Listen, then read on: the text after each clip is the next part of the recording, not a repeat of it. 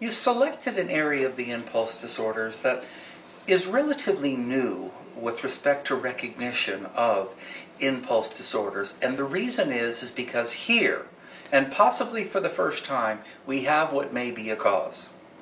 Pediatric autoimmune, autoimmune neuropsychiatric disorder associated with streptococcal infection suggests that a small subgroup of the population as a result of early childhood streptococcal infection, have acquired a specific psychiatric problem.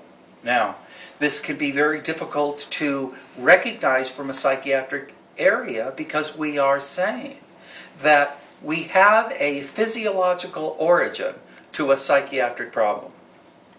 This awareness or the growing amount of evidence, the body of evidence that has directed us to this, may suggest that things such as trichotillomania, obsessive compulsive disorder, tic disorders, and other disorders may have their origin in an actual physiological problem or an infection.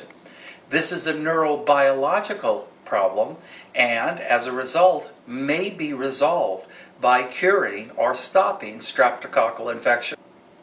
Pediatric autoimmune neuropsychiatric disorder associated with streptococcal infection is oftentimes referred to as PANDAS, P A N D A S. And so if you hear the term PANDAS, you know that they're referring to this particular disorder.